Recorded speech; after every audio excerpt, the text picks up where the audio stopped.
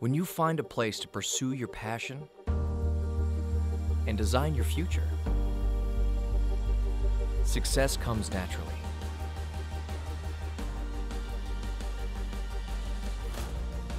And when you let devotion inspire creativity, busy days aren't overwhelming. They're perfect.